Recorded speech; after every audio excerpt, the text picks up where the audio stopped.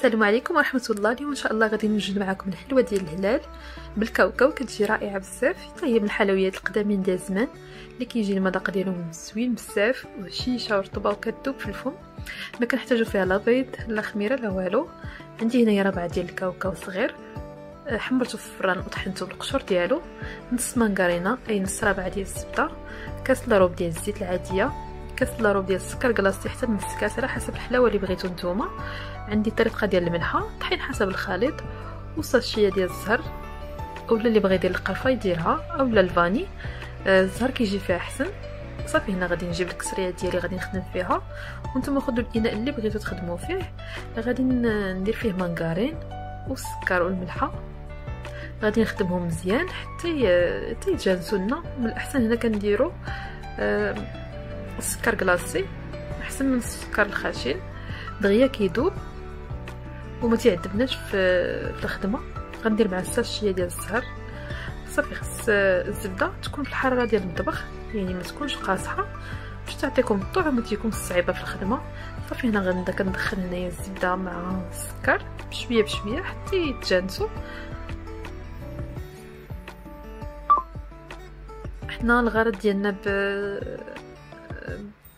بهاد الزبدة والسكر يوليو بحال الشكل ديال ال pommade. هاد الحلوة ما كنديروش فيها الخمارة هي كتنفخ بوحدها بلا خمارة. ما كنديروا لا خمارة لا بيض هادو هما المكونات اللي كنديرو. هنا شفتوا الزبدة ملي ولات لينا بحال دابت مزيان هي والسكر جانسو غنضيف عليهم كاس لاروب ديال الزيت الرومية. غنخلطهم مزيان حتى يوليو لينا بحال الكريم. كيف كتشوفوا كنخلطهم كنخدمهم باش ما يبقاش دوك الحبيبات نتاع الزبده ويلو كلهم متجانسين كيف كتشوفوا كيولى لنا الخليط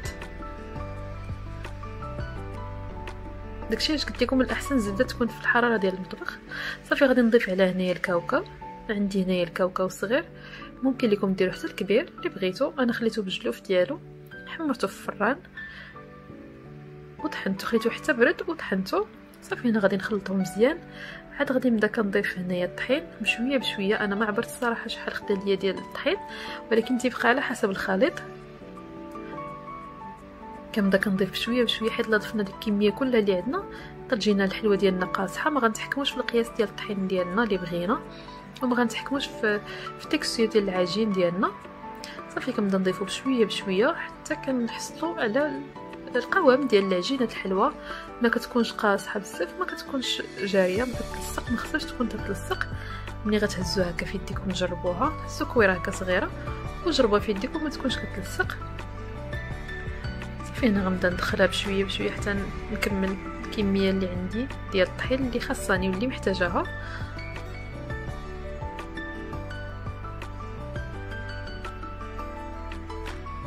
ما كنحاولوا أننا ما نعجنوهاش بحال الخبز غير كنجمعها هكا. صافي باش ما تجيناش بحال باش ما تخسرش لنا العجينة الحلوة. أصلا الحلوة ما كتعجنش غير كتجمع هكا مع بعضياتها. صافي أنا شفتو ضفت هاد الكمية هادي ونقصت منها ولكن ما غنضيفهاش ثاني كلها ما غندخلهاش كلها في العجين غندخل غير شوية منها.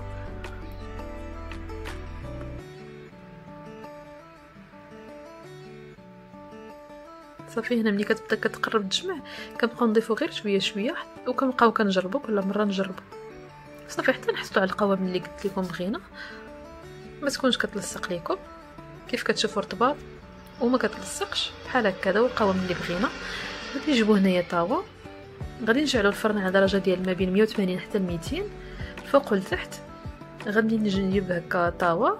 وندير فيها ورق ديال الزبدة وغادي نبدا كنشكل هكا الحلوه ديالنا على شكل ديال الهلال. غندخلوها طيب من الفوق ومن التحت. آه، ما كتحمرش لينا هي الحلوه لا يلا كتبدا كتصفر شوية. صافي وكنحيدوها من الفران. هي ما خصهاش تجي محمرة. صافي ملي كطيب وكتبرد مزيان كنفندوها في السكر كلاصي وهذا هو الشكل ديال الحلوه ديالنا. كتجي ساهلة بزاف وكتخلي اللي بغى يذوب الكمية يذوب لها باش تخرج ليه كمية كبيرة. أنا درت هنا غير نصف ديال الكمية ما بغيتش كمية كبيرة منها. راه كتعطيكم واخا كتعطيني هنايا تقريبا جوج ديال الطاوات من هادو. يعني راه كمية تبارك الله يعني إلا كنت إلا كنت المقادير كنت غتعطيني أكثر من هكاك.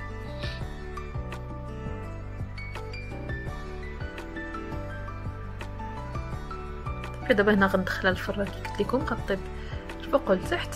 حتى كتحمرينا حتى كتولي صفراء وكطيب في القياس ديالها.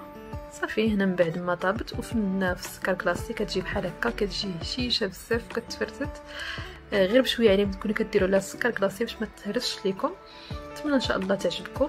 نتلاقاو في فيديو آخر جديد. سلامة.